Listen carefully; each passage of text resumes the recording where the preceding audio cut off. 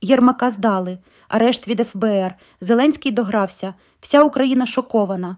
Файно дякуємо за перегляд відео. Не забудьте поставити вподобайку дзвіночок та залишити коментар. истории из, э, так сказать, моей личной жизни, моего личного опыта, который может объяснить, а что же там происходит. У моего сына значит, есть сотрудник, который вместе с женой решили сделать благородное дело и помочь Украине.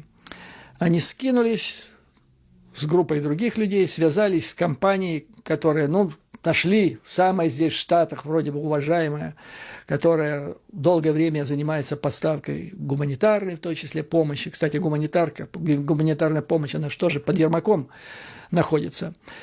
И поставили каски. Купили каски новенькие, сверкающие, пахнущие еще заводской краской. Отправили их в Украину. Долго ждали, приходит ответ от получателя. Вы что нам прислали? Каски пришли. Но эти каски, такое впечатление, что их взяли с поля боя.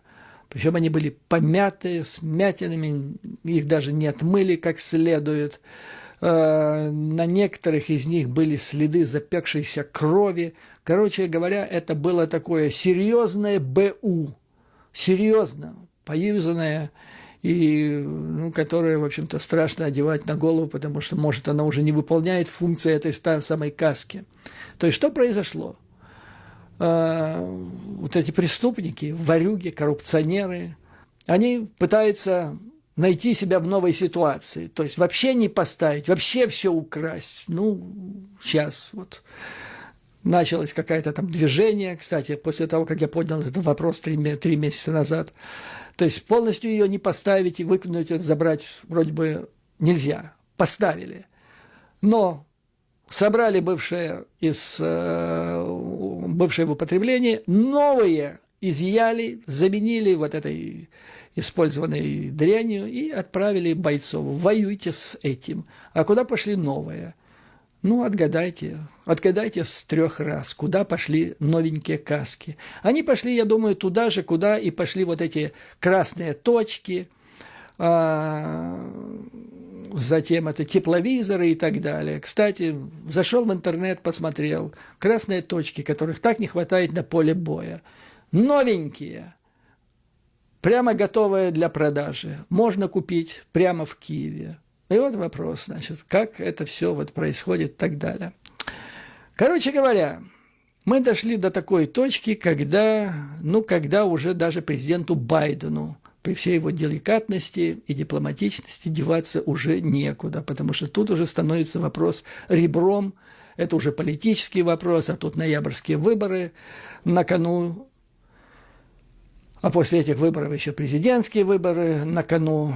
То есть уже, уже крупнейшие средства массовой информации пишут, что надо Украине помогать так, чтобы полностью отходить от государственных учреждений, даже не пускать их вот в эту э, транзакцию, о которой я говорил три месяца назад, то есть от точки А до точки Б, то есть от границы Украины до Б, до поля боя, это должны заниматься этим или иностранные волонтеры, или же представители вот этого поля боя, того подразделения, для которого это предназначено, но туда нельзя поставлять, туда нельзя посылать никого, кто связан с конторой господина Ермака и господина Шарапова.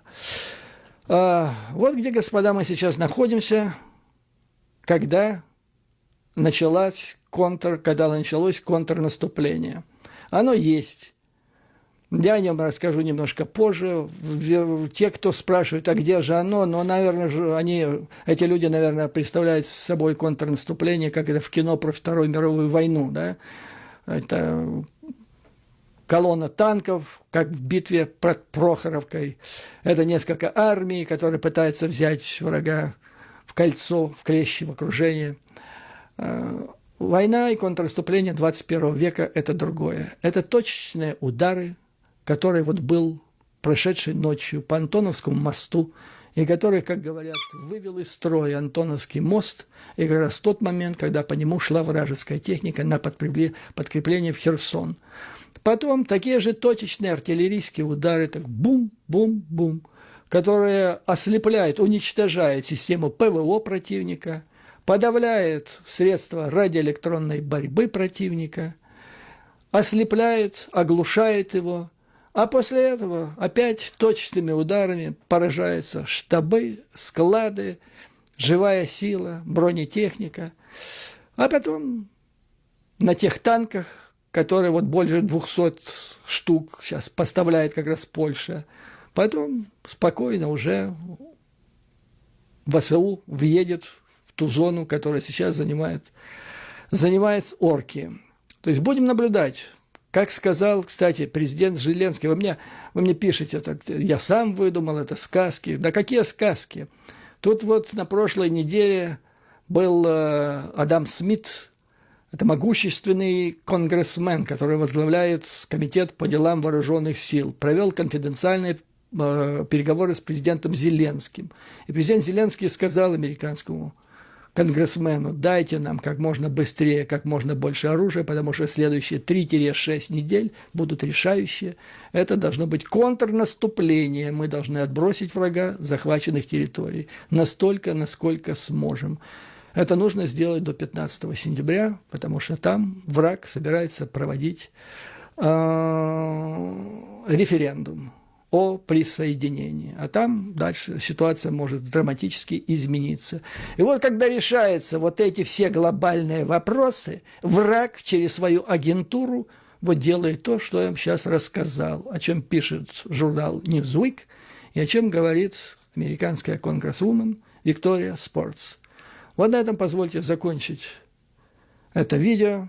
Я глубоко уверен, что борьбу, войну внутренней колонной на внутреннем фронте нужно вести одновременно с борьбой на внешнем фронте, потому что без победы на внутреннем на внешнем будет побед, победить практически невозможно.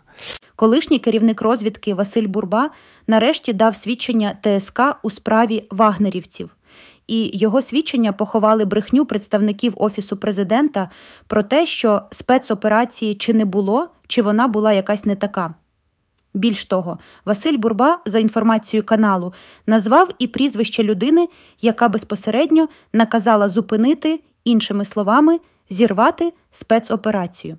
Йдеться про керівника Офісу президента Андрія Єрмака. Тобто пан Бурба підтвердив те, про що Юрій Бутусов говорив вже понад рік. Наша редакція не несе відповідальності за висловлювання джерел анонімних телеграм-каналів. Думка у кожного різна та кожен фільтрує по різному прослухану інформацію. Файно дякуємо за перегляд відео. Не забудьте поставити вподобайку дзвіночок та залишити коментар.